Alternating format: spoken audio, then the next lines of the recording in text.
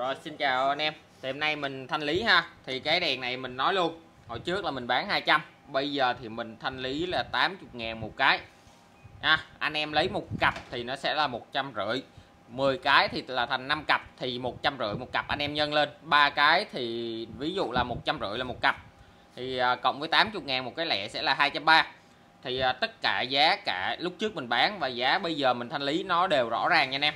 Đó thì anh em sẽ có cái lựa chọn là một là là xem cho vui, hai là mua của mình, và ba là anh em nào trả giá thì mình tự động mình chặn luôn nha anh em. Đó, nói chung là mình à, rõ ràng cho anh em để tránh mất thời gian của anh em, tại vì một số anh em cũng cũng hay hỏi rồi, trả giá này kia nhiều khi có trăm ngàn à kêu mình bao ship nó thì nó kỳ lắm, nó nó nó nó quá đáng anh em. Nên là mình rõ ràng với anh em luôn cho nó cho nó tránh mất thời gian ha. Thì đây là những cái đèn à, ở đây nè, đèn mới chưa xài nhưng mà tại vì á, bãi nó về nó không có cái à, cái màu xanh hoặc màu đỏ, thì chỉ khi nào mà mình cắm điện mình mới biết. Thì cái dấu này là mình đánh dấu à, để để để nhận diện. Ừ đây là một cái đèn màu xanh và đây là một cái đèn màu đỏ ha. Còn toàn bộ mới nó sẽ nằm trong này chưa xài.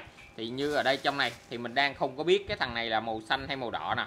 Nên là chút nữa mình thử rồi mình sẽ sẽ tính sau. Rồi thì nó sẽ nằm trong hộp như vậy nha anh em. Có một số cái nó mất hộp thì mình không ấy. Thì đây là một cái đèn kẻ vạch. Đèn này là toàn bộ bằng inox và bằng nhôm. Đèn này gọi là đèn kẻ vạch và là đèn cảnh báo dành cho một số anh em nào làm xưởng hoặc là làm bất kỳ cái ngành nghề gì đó mà anh em muốn có một cái sự an toàn ở một cái ranh giới hoặc là anh em nào làm nhà kho. À, thì nó sẽ có hai màu xanh và đỏ. Nó sẽ kẻ cái vạch. Thì cây đèn này nó rất là hay. Nó sẽ điện sử dụng điện là từ uh, 12 cho đến 48V à, thậm chí là 60V 80V là cái đèn sẽ cháy. Rồi thì à, kích thước nó rất là nhỏ gọn thì một cái đèn này nó có thể bắt bát để anh em tùy chỉnh nè. Đó anh em có thể quay bên này bên kia để anh em tùy chỉnh cái góc độ đó góc độ mà anh em muốn. Ha, để anh em chiếu xuống. À, anh em có thể xài bình ắc quy hoặc là nguồn điện đều ok. Rất là nhỏ gọn nha anh em đó thì à, mình thanh lý là 150 ngàn một cặp. Anh em có thể mua hai cái xanh hoặc hai cái đỏ gì đó tùy. Mình ví dụ nha. Đây đây là hai cái xanh. À một cái xanh một cái đỏ. Đó hai cái. Cái này nó sẽ có một cái chức năng nữa rất là hay là nó sẽ chống rung. Ví dụ như anh em gắn ở trên xe nâng hoặc là xe tải.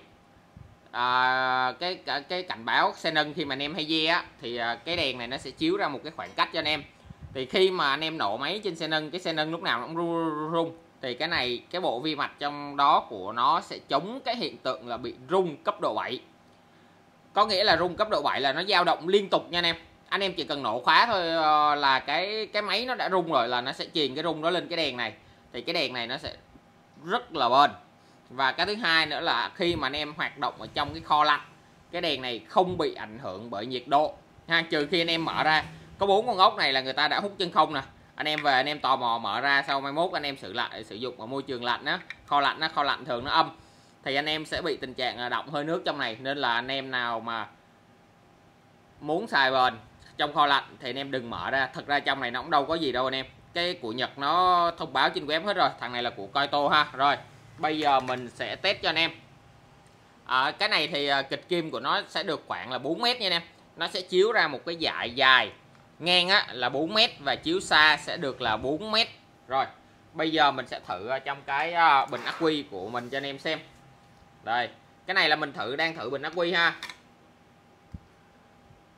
Đó, anh em sẽ thấy nó ra một cái ờ, ra một cái cái đường vạch nè, đường lằn để anh em sẽ sẽ cảnh báo. Ví dụ cái vạch này là cái vạch hàng à vạch này là cái mức an toàn đó ví dụ như người ta đi tới đây người ta sẽ thấy cái vạch này.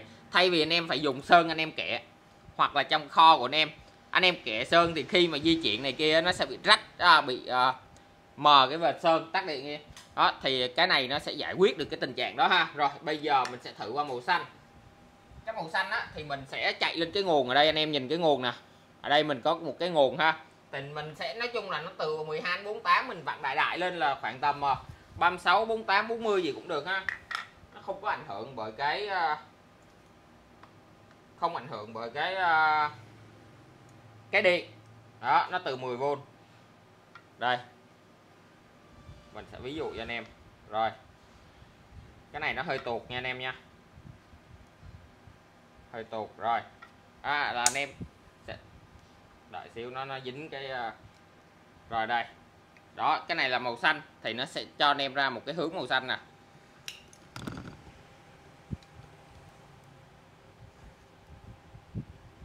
Đây đó, nó sẽ tạo cho anh em một cái lằn màu xanh.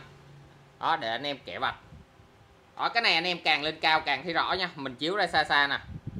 Đó, còn màu đỏ thì anh em sẽ ờ, có cái vạch màu đỏ. Rồi, mình sẽ kèm một số hình ảnh và à, chi tiết thực tế ở bên Nhật người ta sẽ làm ha. Anh em làm ở cho bên ngành xe hoặc là ngành kho hàng vận tải cũng được ha.